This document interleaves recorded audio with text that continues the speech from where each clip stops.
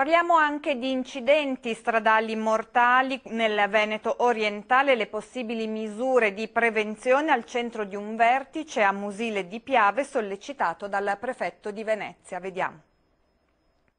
L'ultima è Nicolas Maritan di Musile di Piave, ma sono tante le vittime della strada originarie del Veneto orientale, troppe e troppo giovani, tanto da rendere necessario proprio a Musile un vertice sulla sicurezza stradale fra il prefetto di Venezia, il nuovo questore Luz 4 e la sindaca. C'è la necessità di dare un segnale diverso, un segnale che è fatto di controlli, che è fatto di intensificazione di un'attività di prevenzione che parte eh, dagli autovelox ai controlli eh, alle persone, ma soprattutto attraverso una idea di un progetto di comunità. Le campagne di sensibilizzazione alla guida sicura possono sempre essere efficaci. L'USL competente per questo territorio ha già programmato da tempo una serie di iniziative tra cui un video per sensibilizzare soprattutto i giovani, perché un video che pone agli occhi di un giovane